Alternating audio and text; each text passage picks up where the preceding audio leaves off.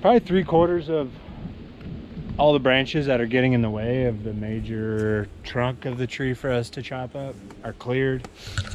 You see this little chipper worked out great.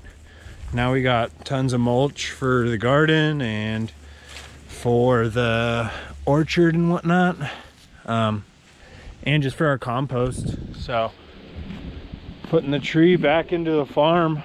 Um, yeah, I guess tomorrow we'll probably finish it. That little Kobalt saw is cool and all, but the battery dies kind of quick. If I had like three more batteries, it would be good as well.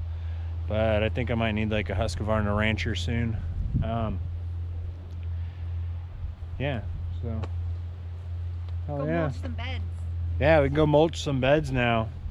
All those wood chips from the tree that fell on our property, we're now sprinkling over the asparagus and the horseradish.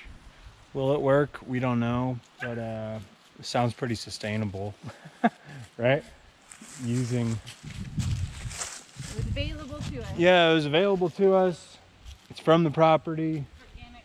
It's organic matter. We know that it's not covered in pesticides from, you know, we didn't buy the wood chips from somebody else. They came off of our property, so we're first time farmers. If you got any ideas, let us know. But we're giving it a shot. We're doing what we can with what we have.